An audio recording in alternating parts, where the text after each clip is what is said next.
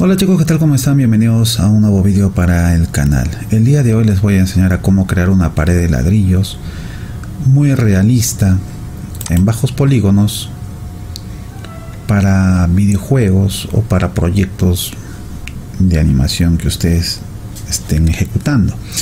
Ya quiero que se vayan dando cuenta al ver esta imagen que los ladrillos acá tienen fallas o desgastes que se le han ido creando. Tienen rotaciones, tienen movimientos de eje, ya sean X, Y o Z, para dar un efecto realista de profundidad o como es en la vida real una pared de ladrillos. Quiero decir que esta pared ha sido creada prácticamente ladrillo a ladrillo. Y para ser muy didáctico, en este video no lo voy a poder explicar todo.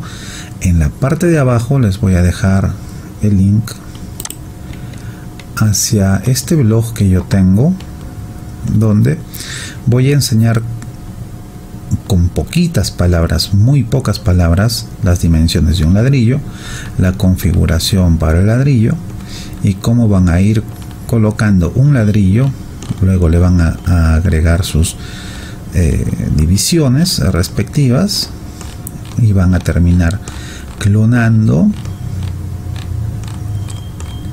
y van a agregar otro objeto que le van a dar una forma punzocortante como pueden ver. Y con este objeto punzocortante van a tener sus variaciones al cual le van a estar creando desgaste al ladrillo. Por ejemplo le doy clic y ven que esto con estos objetos punzocortantes se ha creado ese desgaste. Luego se crea pues una pared eh, referencial como de fondo donde van a ir colocándose los ladrillos. Y los ladrillos pues se van a ir ubicando en una forma como pueden ver acá es muy perfecto no tiene desgaste ni, ni rotaciones. No se nota real la pared se nota que es una pared creada por ordenador. Y pues acá voy a enseñar los métodos ¿Qué se puede hacer para poder conseguir una pared realista?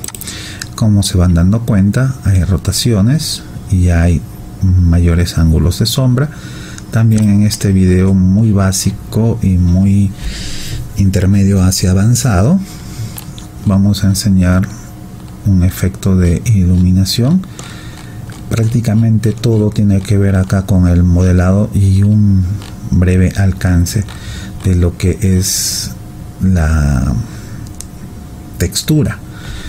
Bien eso es todo lo que les quiero decir.